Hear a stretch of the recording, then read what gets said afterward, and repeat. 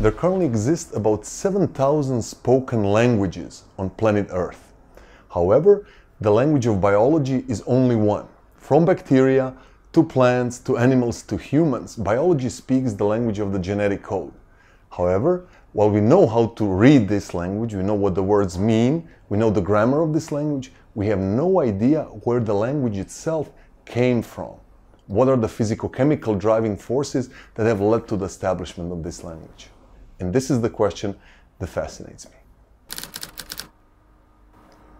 The question of the origin of the genetic code is one of the most fundamental, still remaining open questions, foundational questions in biology. And I firmly believe if we find an answer, final, ultimate answer to this question, we will have learned a lot about the biology of today and potentially also about where the life itself came from and how it originated. It is the centrality of the genetic code in all of biology that makes me believe that if we really understand this fundamental relationship between messenger RNAs and proteins, we will actually learn much about other aspects of biology as well.